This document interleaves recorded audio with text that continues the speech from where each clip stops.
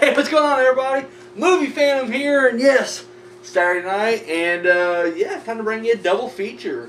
Uh, we got, and this is of course, uh, 13th Wolfman. Once again, this is the list that I've been working on that he gave me a long time ago, and I'm just kind of chipping away.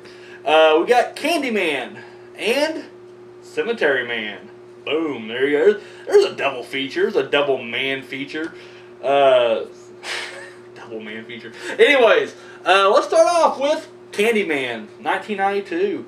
Uh, the basic premise here is uh, there's a couple of students uh, who are writing a thesis on urban legends. And of course, there is an urban legend of the Candyman, which, much like Bloody Mary, when you say his name five times in a mirror, he's supposed to come out and cut you up.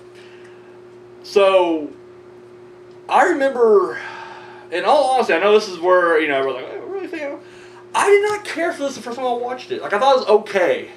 The fact that it was, like, considered this horror classic or iconic, you know, movie in horror, I didn't quite see it the first time I watched it. I was just kind of like, like I don't, I don't get the big deal. Uh, yeah, I, I, I, don't know. I can't really explain it than that because when I watched it this time, it's almost like watching it uh, with new eyes on. In fact, this is actually I watched it uh, twice recently because uh, Maya on her channel she was reviewing it, and I watched it with her and everything. And like I said, the first time I watched it in a long time, and I was just like, wow, like this. A lot of this don't even seem like the right, like the same movie, but I mean, it has to be. Cause I mean, I remember it, but once again, it just like I don't know, it's just like, like I said, viewing it with different eyes, I guess. I don't know. And so then I was like, well, shit, I'm gonna review it here, and I didn't want to just try to like remember what I watched like you know a month ago. So I was like, ah, fuck, I'll just rewatch it again. And yeah, I mean, it, it has gotten better each time I've watched it. Uh, the one thing, this is just gonna be a side little note here. This is off the review, but I remember when this came out. Um, I was in the second grade. Man, I am old as shit. And um, I remember my school. My school was way out in the fucking country, right? Like I literally, like I grew up. Like I didn't grow up in this town. It was, or I mean, I kind of did, but for the most part, I was on, you know, way in the outskirts, like you know, like twenty fucking miles outside of, you know, country or whatever. Uh, outside the town, and uh, anyway, they're just in the you know middle of nowhere. So school's like in the middle of nowhere, and I remember like there was like here's the, the playground, and then there's like this massive field. The kids play kickball or baseball or whatever the fuck there. But then there's the woods over here, and like in between the woods and the baseball field, there's this big like storm drain, right? And this movie hits, and now I just I never seen it. Like I didn't watch this movie until I was probably in high school or whatever, maybe a little earlier than that. But anyway, I just remember that like just the power of you know myth, I guess. Like kids were like, you know, Candyman lives down there, and that's storm drain. And like I was like, that's that's full, you know, BS. I was calling bullshit on that, you know, even then. But then they're like, no, seriously, you know, you know, my brother, like the, the kids, like my older brother told me, like, you know, they said Candyman five times, you know, and boom, it, it happened, killed him right down there. And of course they're like, I'll dare you go down there. Because I'm, I'm, I'm second grade, so I was like, well, fuck you, I ain't going down there. And we, it's always what we did. We kept trying to dare each other to go toward the storm drain, and like none of us was having it. Because as a kid, you know, you'll just about buy it. Like, even though I was like, that sounds like bullshit, I wasn't going to risk it. Because at that point, I have seen enough horror movies to know you just don't fuck around that. You don't go near a storm drain in the middle of nowhere. Like I don't care, you know, how many kids are on the playground. You go, you, you go off that circle a little bit. Like you get your group of, you know, get your circle of kids here. You wander, you stray, you're fucked. And that's just horror, you know, 101 right there. So yeah, I wasn't about to tempt that shit. So I'm sorry, I had to tell you that story because that's just like one of those like random like Candyman related, you know, childhood stories there. Um, no, watching it, like I said, you know, watching it a couple more times just, you know, just recently, I really dug it. I liked the idea. I think one thing I didn't like about was, I don't know, when he, you know, all these people wind up dead early on. Like, I assumed it was the Candyman, and it wasn't. It was just some, you know, street punk who was taking the legend of the Candyman and making it his own. And, um, I don't know, maybe that was the reason I didn't care for it. Like, I just was like, wow, Candyman hadn't really killed anybody in this movie except, you know, midway through or whatever. Like, maybe the, the early body count didn't count or whatever the case may be, but uh, I like that. Like, I, looking back on I like the, the urban setting of the whole thing. And that's one thing I really dug, and I think that's one thing that made turn me off initially when I watched it. Because, you know, even though like, it had this awesome, and I, I will praise this later on probably, but like the awesome gothic score, like the music, and yet it's set like in the projects, and you're just like, what? Or just in broad daylight anywhere, right? So I, just, I stuff like that I just didn't care for. Uh, then, uh, looking at it now, I really dig. It's very unique. I like the idea that you know, it's not just set in a typical suburban, you know, neighborhood like, you know, a Halloween or whatever, or not set in the woods, you know, like Friday Thirteenth. I mean, it, it's set in projects. Like, and once again, it's like it's dangerous enough, but now you got like the Candyman, you know, kind of stalking your ass. Uh, it's very psychological. I dig that aspect of it. Uh, I like the idea that you know what pisses the Candyman off is that the fact that this girl just doesn't believe him. Like he's dispelled, he's she's disproved the whole Candyman thing. She you know, now everybody kind of knows, like, oh, that one strict punk did it. And the Candyman, who's just kind of a myth at this point, like, there has been no, like, you know, I mean, you assume that he's probably had, you know, broke bad before, but it's like, at this point, he's dormant. He's just up here in the air somewhere, and now she has, you know, released him on him, you know, because the fact that she just doesn't believe, and she's trying to prove that he doesn't exist, so now he's coming down there. Uh, so I really, I, I, dug that whole thing. I dug the, uh, and I heard this is actually kind of, this part, excuse me, the Phantom's got a bit of a goatee thing going on here. The mustache is just, uh, the combo thing here, and the thing is hitting my nose. That's ridiculous. I need to trim it up. Um, but like the thing I heard that was based on a true story was, you know, in the one apartment building, how there were, um, you'd have these two uh, apartments kind of connected by the bathroom and there was like this hollow spot in between the uh, medicine cabinet. And I heard that's actually based on like that is like a legit like thing as like a flaw that they built when they you know built these apartments. And people were like sneaking into apartments like through the window or through the uh, bathroom you know cabinet, attack you know. And I thought that was I don't know it, it, seemed kind of that is kind of messed up because you mean once again especially in a bad neighborhood like that, you know, you like you can bar your windows, lock your doors, but you know, they're coming through the wall, son of a bitch. You know, that's just that's taken to a whole nother level right there. Um, the one thing I like is the fact that it's very, it doesn't sugarcoat anything. Like, and the, the one thing I'm talking about is like literally, you know, a woman's killed in her apartment, and she, and it's the same thing that the main girl, I forget her fucking name now. Uh, Virginia Madsen, I can't think of the character's name, but it doesn't matter. Uh, anyways, when you know she talked about how like you know two people died, and like the cops don't do shit. But it seems like a white woman's attacked, you know, in a bathroom, oh shit, it's a manhunt, and you know they bring they bring down the hammer hard.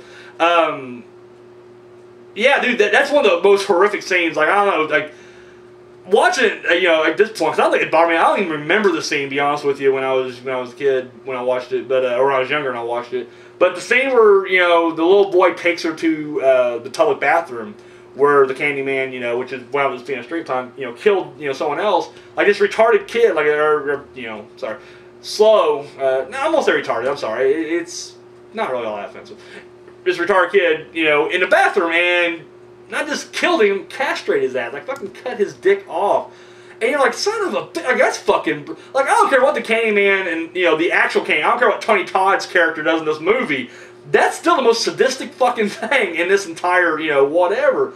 Uh, I, have never seen the two sequels. There are two sequels, I believe. Um, I gotta say, that's gotta be the most horrific thing in the trilogy right there. Like, I'm gonna call it right now. I don't think it will get any worse than that. Is when you cut off a poor, uh, you know, mentally challenged kid's dick in a bathroom. That's just, that's fucking horrific right there. Um, yeah, some crazy stuff. And that's probably one of my, that's my favorite scene right there. Just because it's so messed up and that's so fucking dark and brutal. Um, I, I also like the fact, you know, that um, it's, you know, it keeps making her look more guilty. Like, you know, at one point, you know, she wakes up after Candyman first makes his presence known, and she wakes up, you know, in this in, in the I forget her name, but she met her in the projects, met that one woman, you know, baby's missing, her dog's head's chopped off, and of course she, you know, she don't know anything about it. She wakes up in a pool of blood, and of course that woman's attacking her. Well, she finally gets the upper hand, and then of meat cleaver up, and of course the cops, you know, the one time they go, you know, investigate, you know, a strange occurrence in, you know, the, the ghetto, boom, she gets caught, the meat cleaver covered in blood. And, yeah, you're just like, son of a, like, that's horrible, like, the, you know, it's that kind of a Hitchcock, like, you know, wrong place, wrong time kind of you know thing. You know, man on the run, and it's what you're like, holy shit, she didn't do nothing. Um, and it happens throughout. You know, her friend gets you know butchered. I'm gonna drop some spoilers on both movies, so sorry. But you know, like literally, she you know her friend gets killed in her apartment. Same thing. She's the one that you know gets kind of blamed for that, and I, you know, they don't really go into details. But you know, the point where uh, the psychiatrist is talking to her also gets killed. She makes an escape. Uh, did she kill the girl when she breaks in, or she just knock her unconscious? Because a scene where she gets out of the window, you know, the psychiatrist's window after Candyman, you know, killed him, and she's climbing on the ledge. She gets through the window, and when the girl goes to help her, she just like falls on her. But I swear you hear like a crunch noise. Like did she break? I don't know. Either way, so but I, I like that because like no matter what, like, she was not guilty of anything, and yet she's like you know they got like her you know paid for like all these numerous murders and everything. Um, yeah, uh, I you know I really dig it. Uh, I, I mean, at this point, you guys have all seen it. There's no way, and I'm willing to bet anything I got on it that you guys have not seen this movie. But uh, yeah, like I said, uh, this is kind of like I'm watching it for the first time, even though I've seen it before.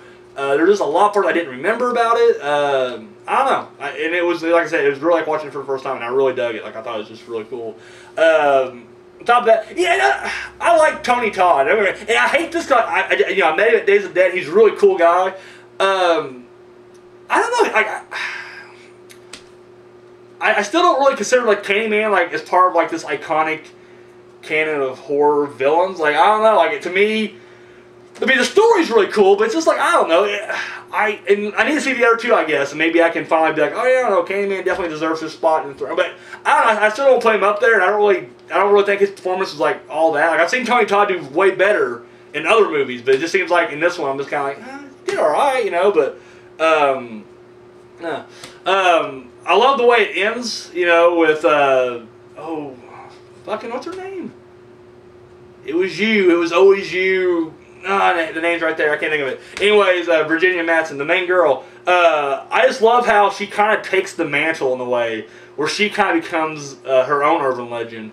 Uh, one of my favorite, one of my favorite scenes, A, is uh, the, the end when they're doing the whole, like, you know, the bonfire, I guess. I don't know what you call it, or you know that. But she she going through like a giant, it's like a maze of junk, like this this pile, which you know I wouldn't think would have this much of a labyrinthine kind of pathway through, but you know it, does in the, movie. So she's kind of going through. She's now getting her way through. Finds the baby. Where the Candyman tries to stop her, she fights out. Or at this point now, this part of tradition, I guess, they burn this bonfire. I didn't quite get that. Like, you know, was just like an annual thing? They burned a giant bonfire? Was it just because they captured the Candyman. Because no, the, the, the, pile was there before. Because that little uh, the little boy, they walked past it on the way to the bathroom. So yeah, the other candy man wasn't caught yet. So I don't know, but they're all together because it's just like a uh, you know symbolic burning, I guess. And I don't know, but I don't know what the point of it was. But anyway, they they're burning it. And of course, she comes out fucking engulfed in flames, but the baby's safe, and then she returns the baby back to the mother. And my, one of my favorite, another just awesome shot, like I just love the the, the, the uh, visual, is when they're at the you know the, her funeral, and there, you know, there ain't that many people there at all. But then, like everybody, you know, from the projects comes out with the little boy and that woman with her baby in the front, and it's almost like you know. To me, it seemed like almost like they're like almost paying their respects as long as they, they know like you know she took care of the Candyman in, in a sense. But then she, you know, at the end we find out her cheating uh, ex-husband. Because uh, at this point she's dead, so clearly ex-husband. No need to sign divorce papers there, right? Um, you know, says her name and I'm, I'm blanking because there's a fucking scene. He, he's saying a name. And I feel like he only says it four times. Maybe he does say it five times, but I feel like he only says it four. Anyways, she pops up, you know, behind him in the mirror, and then, of course, fucking, you know, butchers his ass. And, of course, you know, the girlfriend, you know, sees the body and everything. And you're like, well, fuck, now she's to get stuck with, you know, this murder rep. And then it's just the cycle keeps going. Uh, I do want to check out the other two now because I feel like, you know, after watching this with fresh eyes, and digging in as much as I did. I, am curious to see, you know, what else they did with it. Um, so yeah, it, you know, check that out. Uh, guys, let me know down below if you know if the, if the other two are as good, you know, or if I, you know, I'll probably watch them anyway. So even if you're like, I ah, don't waste your time, I'll be like, ah, I'll check them out anyways. Cries, I sat through like you know nine Amityville movies, so I mean, I'm, I'm sure I can get through the Candyman trilogy. Uh, but yeah, no, I really dug it. Once again, uh, that, that score, dude, that score is fucking awesome. Like I just love the uh, the music to this. I just thought, like I said, just it, it, was definitely out of place. Like it felt like it belonged in another movie altogether. Like it just, like I said, it had this like really dark gothic feel, and there's not really a whole lot of gothic imagery in this movie. I mean, there isn't. It's just, and that's another thing I really liked about was. I just remember thinking, like, you know, there, there's enough horror movies out there where shit happens just in broad daylight. Like, you know, it's always nighttime. It's, you know, wrong. I mean, I get it. That's more atmospheric. I, I you know, I, but I feel like it, when shit happens in broad daylight, That's creepy. And dude, like you said, like you know, he's attacking people in their apartments during the daytime. You know, the psychiatrist gets you know his ass whacked in the daytime, and it's like son of a bitch, like you know, that man, you are you know, it, it, it just happened like so out there. And I remember knowing it was going to happen this time around, but I remember the first time I watched it, it part to kind of get me whenever uh, the psychiatrist is sitting there in the chair, and then you know you know, gets taken down from behind. And course, dude, Candyman fucks his ass up with that hook. That's all there is to it. Uh, so yeah, uh, highly recommend it. Uh, I, I, really dug it. So Candyman. Up next, here's a movie that I've always heard about. I didn't really hear much about it, but it seemed like every time I watch anybody's videos and they have like their you know their DVD collection, they're like, oh, and Stone Man, really good. You know, check it out, and they move on to the next thing. And I mean, I swear, like everybody, everybody's seen this movie. Uh, but yeah, Cemetery Man, '94, and I believe it was uh, Italian. Um, yeah, kind of a weird. I just got done watching it actually. It's just kind of it's, it's a weird fucking movie because when it starts off, you kind of get the sense like, okay, I know what kind of movie this is gonna be, but as it gets to the end, you're like, what the fuck? And basically, the premise is this dude. Uh, he's the caretaker of a uh, cemetery. Him and this other guy, uh, Gnaghi, uh, and basically, what it is uh, whenever the dead arrive and they're buried for like seven days or whatever, they come back as zombies, and then it's his job to fucking take them down. And uh, I'm guessing he was hired by somebody. Guess that's what they said. Like you know, you know, someone knows he's you know he's doing this and he's being paid for it. Uh, but yeah, so that's the whole. That's it. And once again, like you keep feeling there's gonna be a plot coming around the corner, and the plot never shows up. Like that's pretty much it. Like you're following this guy around. Like early on, you know uh, he, he, he sees a girl and he, he falls in love, like hard, falls hard in love. The thing is, she's burying her dead husband, right? So, you know, a little inappropriate, I guess, but anyway, dude, she falls for him, like, instantly. Like, you know, it's one of those things where, maybe not instantly, but, like, you know, when she comes back that night, you know, she's, you know, all over them, they're fucking and everything. Well, then a zombie shows up and bites her. And, of course, you know, you know, he's waiting for her. Well, she, you know, wakes up and she comes up, he, you know, shoots her in the head. And you find out later that she wasn't dead right there I'm sorry, guys. Um, I promise I'm shaving tomorrow. This guy. There we go.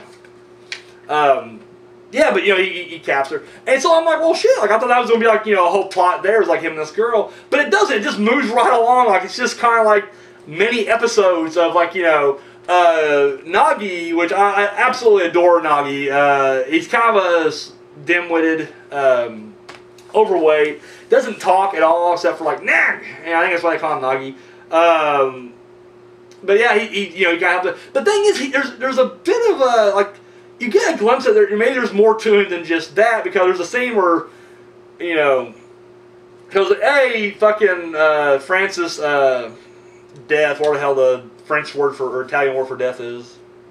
I can't remember what the fuck. Just watched it. I'm, I'm fan losing his mind already. But anyways, uh, Francis is like you know I guess he's putting together like this human skull or whatever, and it's very complex and everything.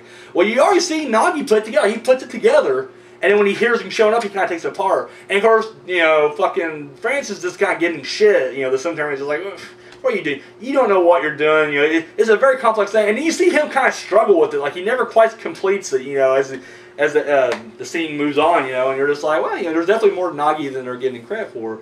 But uh, this movie uh, has a lot of uh, black comedy to it. Uh, a lot of dark humor just going throughout it. Like there's a scene where he's on the or phone with his friend, and like you know, zombies keep popping up after him. He just kind of shoots them nonchalantly, and of course he's just talking to the, you know his friend the whole time, taking him down. And I just I really dig that you know scene right there.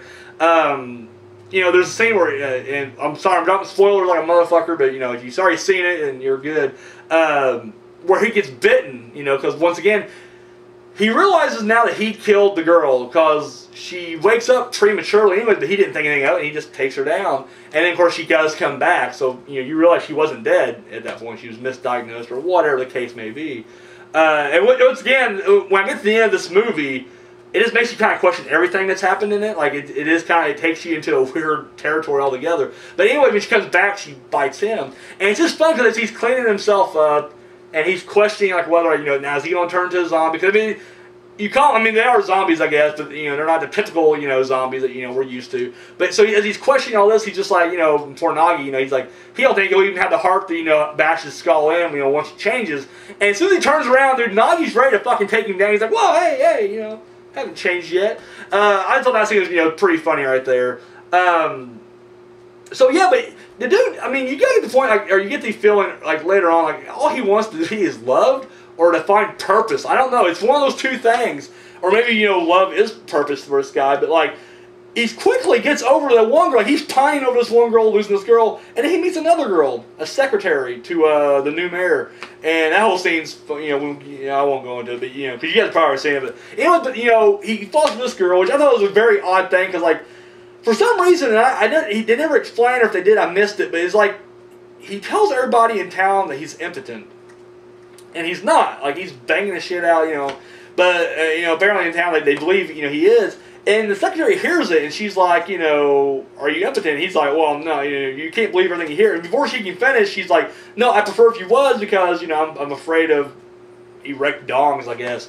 And so he's like, yes, I am. But he goes to the extreme of going to the doctor trying to get cut off. And you're like, wait, what? Like, why would you, you know?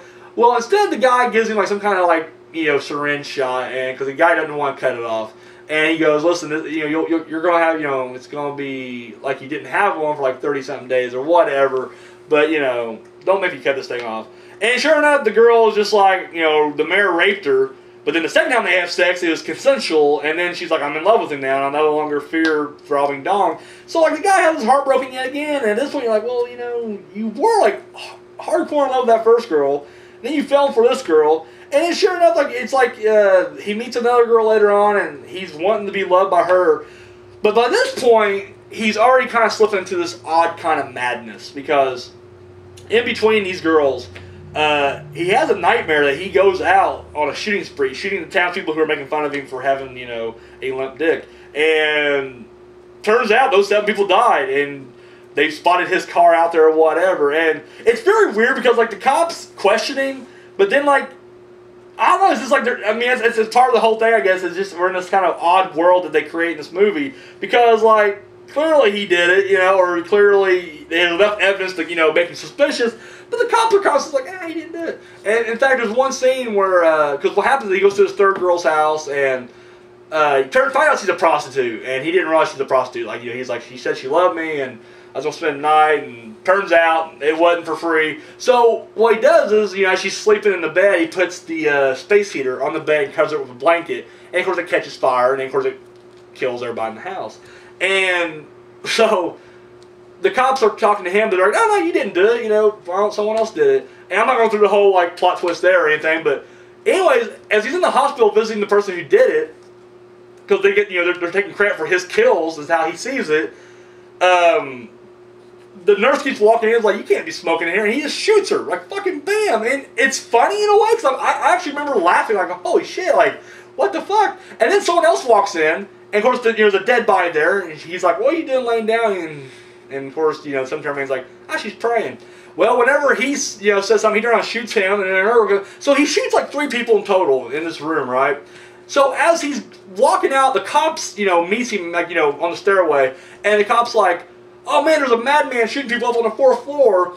He goes, oh good, you have a gun, you can protect yourself. And then he runs away. And you're like, wait, what? Like, are you being for real right now? But, um, Gnaghi gets a girlfriend. Uh, it's odd. Uh, there's a scene where he, he, he, goes all Stan Marsh when he meets a girl and he throws up on him. And he meets this young girl. I mean, she was pretty young. I'd say she's probably like, you know, 16, 17, something like that. And, and just a creepy looking bastard anyways, but, you know, he's so adorable. But anyway, he, he throws up on her and everything. So, uh, anyway, she is killed in this massive, like, mass accident that, you know, killed tons of people. Oh my god. Sorry, guys. Um, so, anyways, um, so yeah. So she comes back, and of course he takes her head off. I don't, you know, but she's still alive. So she's a talking head, and the head moves around and walks around. shit, it's so so ridiculous. But uh, they fall in love. They have a relationship. Unfortunately, you know, it doesn't last long because you know Cemetery Man pops her in the head. Of course, she was attacking the mayor or whatnot. Um, but yeah, no, I, I, I felt really bad for Gnaghi then because I mean he was already upset when he threw up on the girl first place. But then he kind of gets, and you don't know if it's going to work out. And you're like, oh, he's dating ahead. And of course, he's kind of a mentally challenged, overweight, you know, chuddy. He's, he's doggy. But then, like, he's dating this little, like, Frankenstein head girl. And of course, she's stitched up. I mean, her, you know, her, she's in a horrible accident, which is a gruesome fucking scene when you see the accident. But anyways, you know, but it's like they're making it work. And you're like, all right, happy for Gnaghi, but yeah, it didn't last long. Um, so yeah, so as the, as the movie gets toward the end, and like I said, it starts going crazy at this point. You know, he decides like you know, after you know doing this crazy killing spree and everything, he decides like I'm, I'm getting away from the cemetery. And this whole time, like there's you know, he, he appears twice. It's almost like death himself is like you know where you gonna go or whatever, and he's just like I'm leaving. I'm, I'm done with this. And so him, him and Gnaghi decide to leave. And what happens is, you know, as they're, they leave the town, he's like, I've never been out of town before. And they go through this tunnel. And then, of course, when they get to the end of the tunnel, you realize that's it. There is not, there's a giant cliff that just drops off. There is no other, and uh, he is like like, you know, I didn't realize this, you know, there, I knew there was no, nothing outside this, you know, this town. Like, there's no world outside there. And as he, you know, when he gets there, he slams the brakes on. Of course, Gnaghi smacks his head on the fucking dash. But then Gnaghi gets out and walks out, he just like falls over, like he's a huge fucking gash. And you see like the cemetery man literally just he loses. He's like, oh my god, you know. And Gnaghi gets up, like after you kind of hear he's dead, he gets up, and then he starts speaking to you like, I want to go home. To which the man replies, nah, which is kind of like what Gnaghi says. And then it just cuts to a snow globe with everybody, like with those two guys standing on the you know cliff, and then credits. And I was like, what the fuck just happened here? Like, did they do a Saint Elsewhere, uh, Elsewhere type thing where it's like the whole movie was just someone else's imagination is living inside this snow globe? I don't know. I don't know because there for a second, like before that mind fuck, I was kind of mind fucked at the fact that you know Gnaghi says something and then Cemetery Man replies back the way Gnaghi does. Like, do they switch roles then? But then, before I can even process that, as I'm thinking about that, Snow Globe, I'm like, son of a bitch. Like, they, they fucking, they Snow globe us.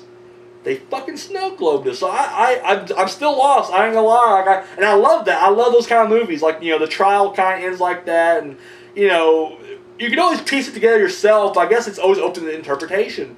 And I, I'm not gonna lie, I just freshly watched it, so I'm still processing. Like I'm gonna be laying in bed tonight thinking, fucking snow globe and cemetery man. Like you know, is it all fake? Is it all just a fantasy world? Or are they actually living inside the snow globe? Like they're in a little mini world? You know, I know, but something about that I love. Like I fucking love endings like that. Uh, recently, there's a, and I'm going to sidetrack for a second if you guys don't mind. Uh, Enemy, giant fucking spiders. All I'm gonna say, if you've seen Enemy and I say the words giant fucking spider, you know exactly what I'm talking about. And you know what? That mind fucked me for days. I literally spent the entire weekend just thinking like, what the fuck did I just watch? And I love it. Like it, it was like one of my favorite movies of that year. I think it came out last year, and I was like, oh my god, oh, I'm sucking that movie off. I love weirdness like that. So this movie, like I said, when I say it ends so weird, that's not me knocking it. I love it. I'm just trying to wrap my brain around what the fuck I just watched. So. Uh, yeah, uh, I, I'm sure you guys have already seen this. There's no way you, you, you haven't, but if you haven't, uh, you, a, I shouldn't listen to me ruin it all for you. But if you haven't seen it, you know, I, I give you guys a warning. You know, you guys, if you guys are watching my show at this point, if you guys are still watching right now, clearly you know I do the 10 year buffer thing. So, um, and this is past that 10 year buffer, so spoiler alert. Uh, but I highly recommend it. Like I said, I, I thought it was just, it was very, it was very unique. Uh, you know, even to the point like, you know, when it's snowing on them, because, you know, it's in a snow globe, it, it, even it, like you can tell, like it was clear, like an animated type snow, but it just looks so cool. Like it, it, it was just part of the style of it. I don't know. Like I didn't, I couldn't criticize for that. I thought, I thought it looked cool. I thought it looked really neat. Um, so yeah, I, I really dug it. It's actually on YouTube. Uh, check it out. Uh, I'm, cut too. Like it, you know, there's titties, you know, off and on throughout the movie, and it shows it off and on throughout the movie. So uh, yeah, I, I, it's, it's here on YouTube. I don't know how long. It happens a lot. A lot of times, you know, I'll watch a movie on here and then after I review it, I go back to see if I can see it again or something like that, and it's gone, it's banned or whatever. So jump on while you can. Uh, but yeah, no, uh, yeah, both you know, a, a, an excellent double feature tonight. Uh, I'm really digging that. So uh, Candyman, Cemetery Man, check them both out. So all right, guys. You know, you got any, uh, you guys want to talk about these movies? Drop you know, some comments down below, or hit me more on Facebook. Uh, like I said, uh, both is really good stuff. Like I said, I, I, I'm definitely digging the ending of uh, Cemetery Man. So, all right, uh, and the music, I really dig the music. And um, there's a, yeah, uh, no, yeah. Anyways, yeah, both of them just solid movies. So I'm gonna wrap this up. We're getting a little long. We're getting a little long-winded here. All right, movie fan, out.